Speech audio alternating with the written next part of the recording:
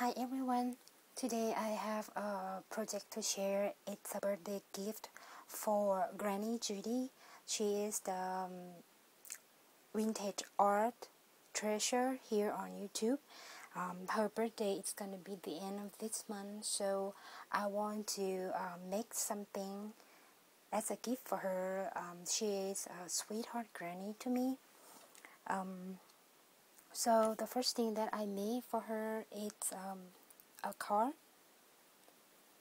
This uh, this card I make out of paper bag, and um, I used the tutorial from uh, Jamie.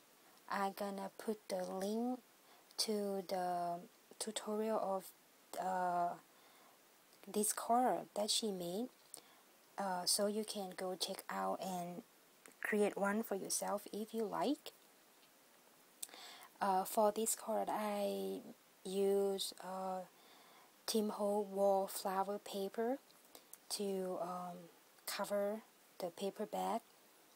And she's going to be 74, so I have a happy 74 here. And for the bottom, I make these lace flowers um, and have um, crochet flowers and the vintage button at the center. And on the side I have um, like a light brown crunch flower that I made on the side um, as well as the roses from Wild Orchid Craft and some leaves and the pearl string here. For the closure of the card I just use this seam binding that I uh, dye with um, vintage photo distress ink. You can just untie it like that and just open the card it's a simple card um, and inside they have this as a pocket. Um, I just uh, glue the trim down here and I will put the note inside this pocket I just love this paper. It's really beautiful. The image is just gorgeous. And I think she uh, would love something like this too. And this is on the back. It's a simple card, but it's just really pretty. And on this pocket, I will put uh, some gift inside for her. That's a card. And um, another one that the I made for her is the book box. Um, this book box I uh, created from the box um, like this. It's just the box that I had. This one is the lid I think. Um, and then I just cut the chipboard to make the the front and back cover and the spine. And then I glue the box um, the inside. So let me go through the front real quick.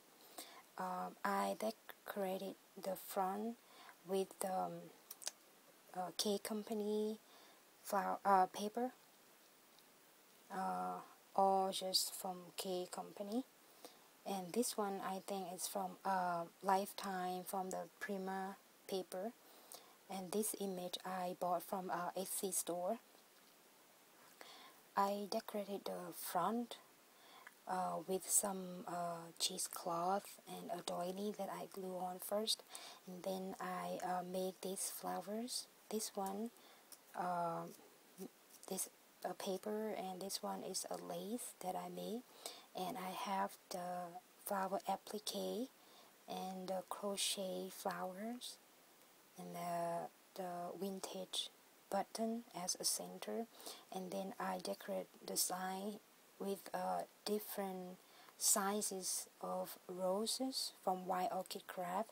I just inked uh, this one with um, tea dye and this one with a vintage photo. I also have some um, stamen and the leaves peek out from the side.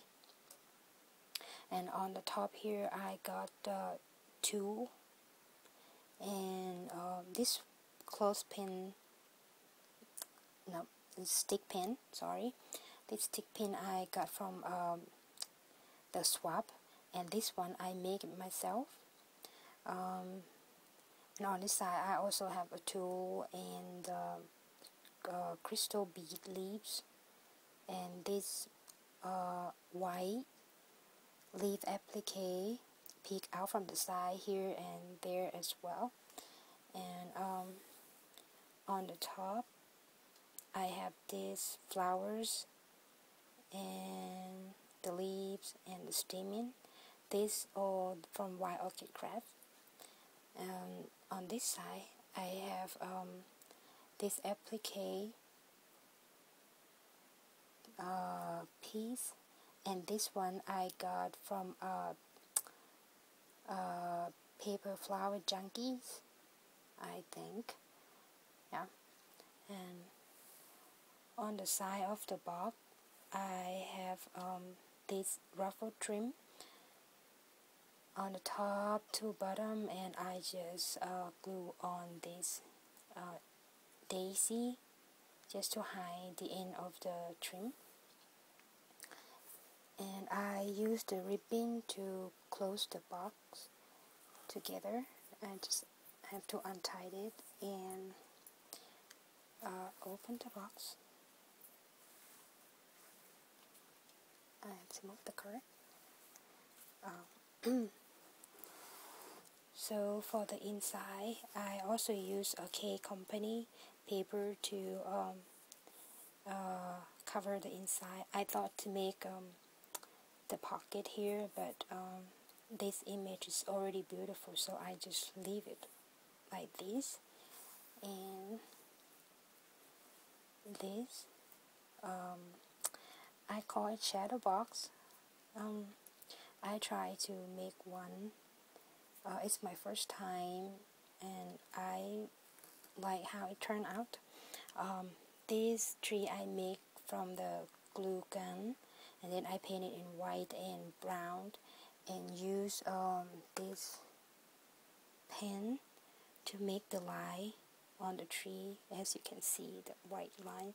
And then I make these um, leaves and make the line with the same pen and make this um, cher uh, cherry blossom flowers.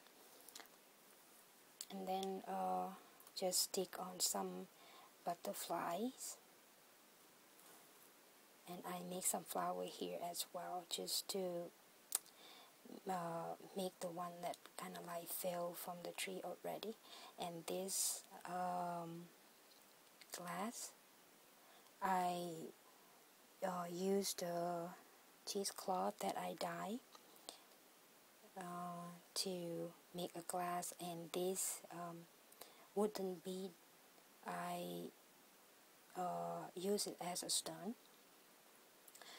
And on the top I have the lace glue on so when this box stand up it's just gonna look like the curtain um, just hang down.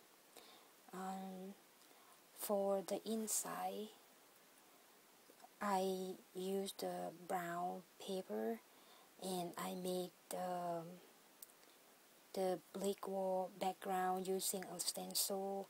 And this uh, pink flowers I use a stem and the paint to create this. And the like the leaves not the glass here I used a green color pencil to do a flicking um, and then use the black pen to make a dot to create this um, glass background on the back. And this piece uh, is a clay piece that I made uh, using the mold that I made from a Prima resin piece that I bought. Um, so um, this is my first time that I do something like this but I like the way it turned out and I hope she will like it as well. So that's all I want to share today and I um, hope you guys like it. Just leave me the comment what you think. And um, thank you so much for watching. I will talk to you soon. Um, just um, bye for today. Bye